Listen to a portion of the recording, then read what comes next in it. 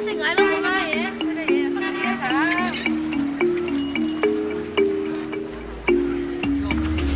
阿姨就拿这个单做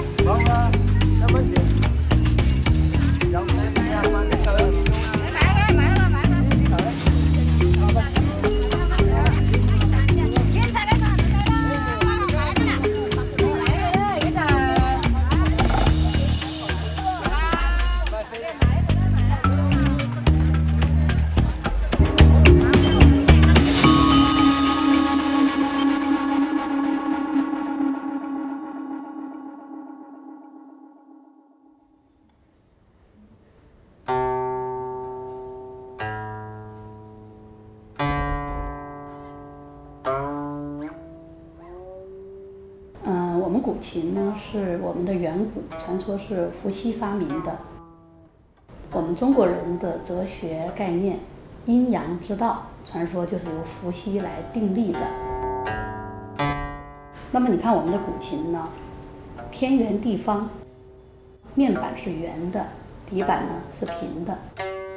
所以呢，这样的阴阳之道在我们的琴里面就直接就能体现了。那我们在弹奏的时候呢，我们的右手是纵向的移动，我们的左手是横向的移动，这也是一种阴阳的平衡。那么我们的闪音、暗音这些的呼应，也是一种阴阳的平衡。文化它作为一个人人们心灵的一个平衡之道，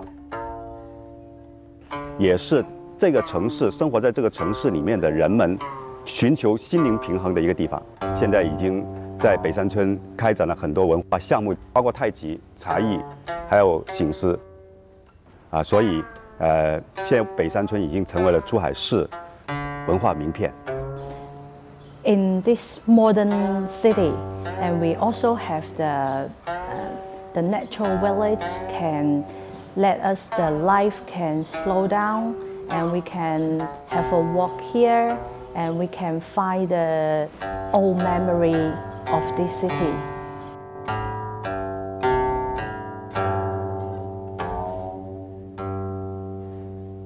我把古琴馆设在这个池塘里头，就是最符合我们古古人对于古琴的这种定位。所以我们能在这样一个古色古香的环境中，去重新找回古琴原有的滋味。当他们走进大院，当他们迈过高高的祠堂的门槛的时候，他的心就已经在往平静、安详里面来调。再看到我们雕梁画栋的这样的一种硬件的装饰，然后再听到我们的古琴的声音，他们自己再来演习、传习我们老祖宗留给我们的这种古琴文化，真的是对他们的日常的生活是一种洗涤。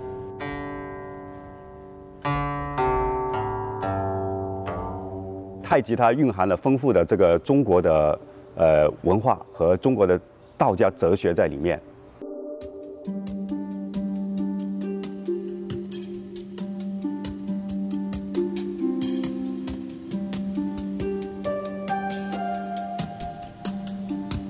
呃，因为我们中国的道家哲学呢是讲究这种阴阳的平衡，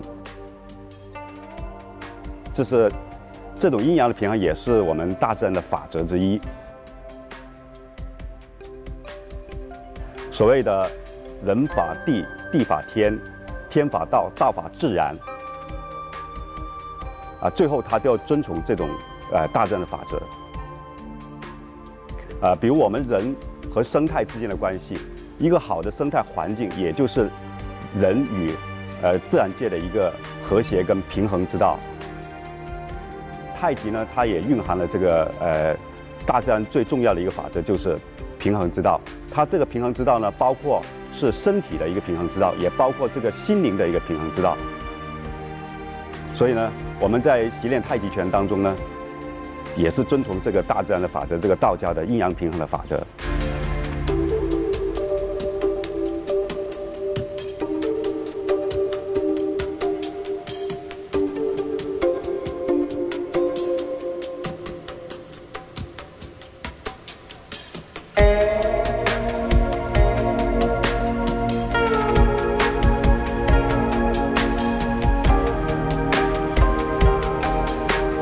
刚才我也谈了太极这个平衡之道啊，我再谈一下我们在北山这边的茶艺文化跟醒狮文化。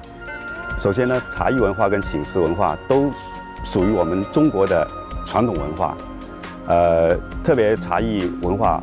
也是上述几千年的这样的一个历史，呃，我们中国的茶艺文化呢，也是一种平衡之道。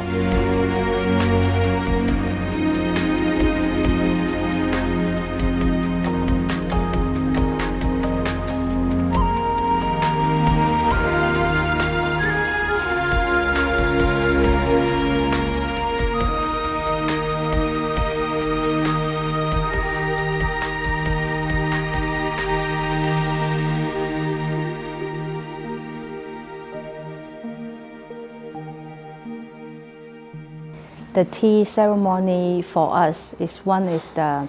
uh, traditional cultures propagation and the other thing is we can use the tea and use the this moment to let people uh, slow down and we can chance, try to tell people you also can choose another life. The life is the low life, the slow life, and we can also let us um, slow down and enjoy our life, enjoy a cup of tea time.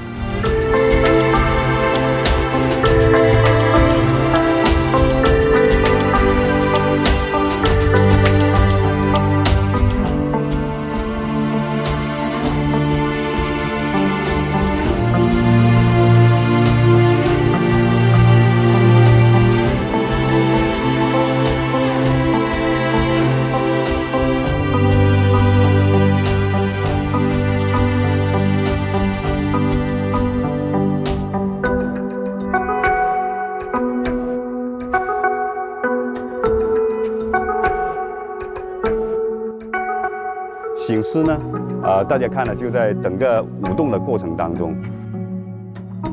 所有的舞者他都需要做出很多非常优美的动作，包括一些跳跃动作、一些忽高忽低的动作。而这些动作呢，需要这个醒狮的人呢，他需要长期的这样一个训练。他训练是为了什么？为了就是保持这种动作之间的和谐跟平衡。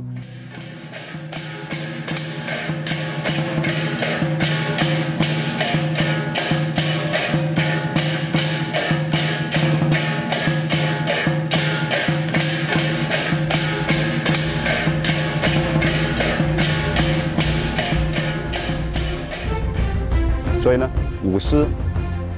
无论是对舞者或者对他观众来说，也是一种平衡之道。